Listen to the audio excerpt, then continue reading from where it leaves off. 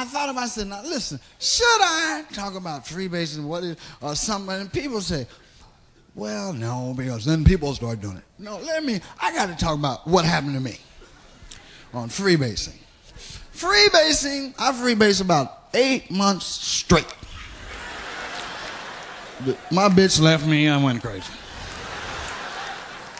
But I fell in love with this pipe. This pipe controlled my very being. This motherfucker say, don't answer the phone. We have smoking to do.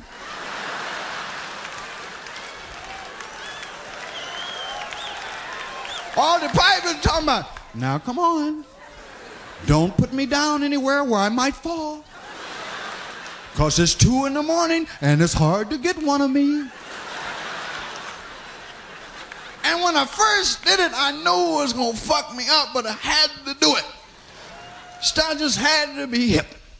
This mother said, You ever tried this? This motherfucker say he going to string me out.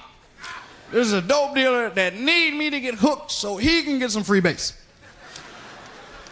You know what I mean? This dude, he just used to snort a little coke like this going.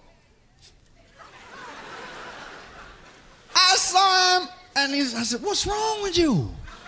This motherfucker was talking about, I remember free base. I say, What? Free base.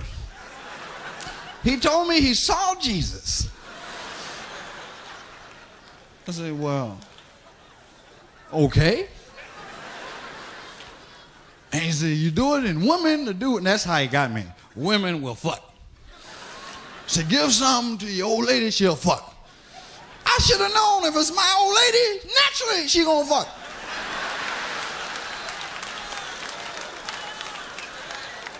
I forgot.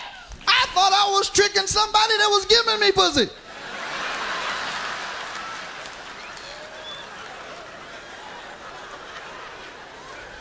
It started out innocently enough.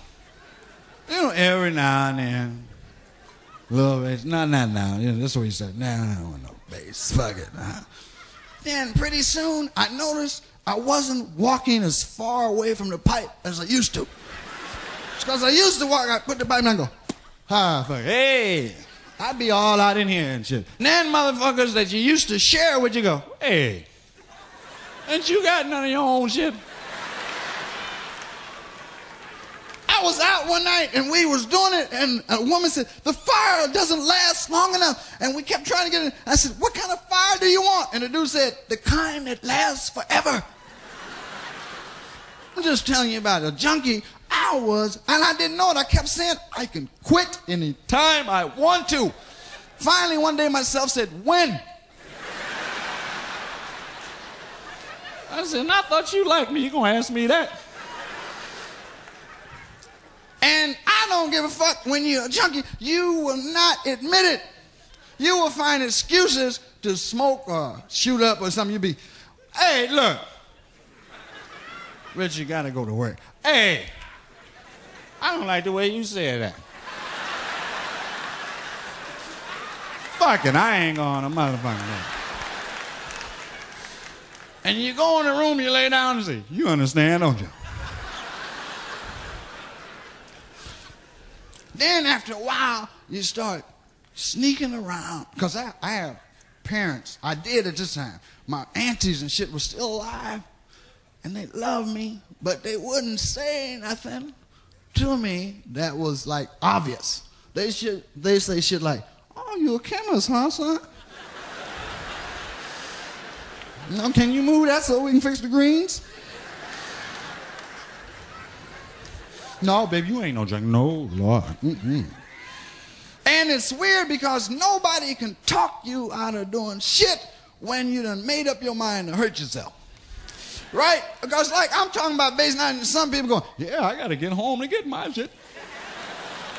Because I would be out and think of an excuse to get home. I would be at the bank cashing a check and the mother say, we have to certify. Never mind. Fuck it. I go in the car, I be no. And the pilot say, you know you right. So Then it gets desperate. When the shit gets gloomy, when you've been in the room four weeks, and Jim Brown have to visit. And Jim, of all my friends who came in and said, don't do that, but give me a hit.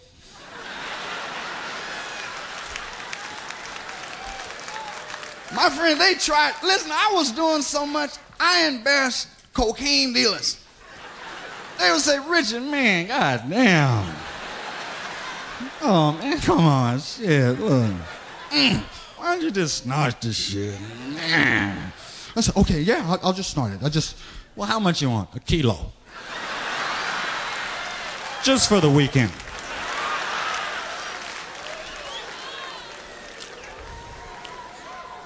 So Jim got wind of the shit.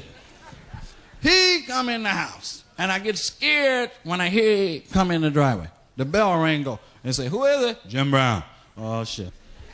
Not the physical, just the mental. You know, because he love me. I know this mother ain't going for this. So I'm sitting, I'm to show off him. I'm to do it in front of him. Fuck it. Jim come in and say, you want to go roller skating?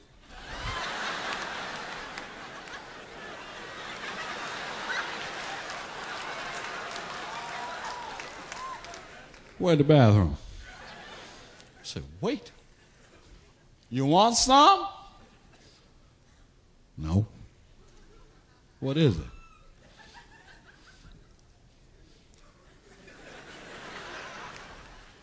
Freebase.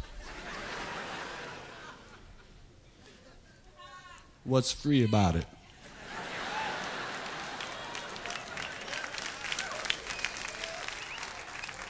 Now, wait, Jim was cold. Jim said, What you gonna do?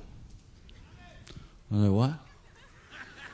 Nothing, man. I ain't going nowhere tonight. No, I mean, what you gonna do? About what? About that. See, you ain't no movie star to me, motherfucker. All these other fools come in there, but I ain't scared of you. You know what I mean? What you gonna do? What you mean, yeah? You gonna go to the hospital with me and get well or what? Why is everybody trying to ruin my life? I don't put you down for lifting weights.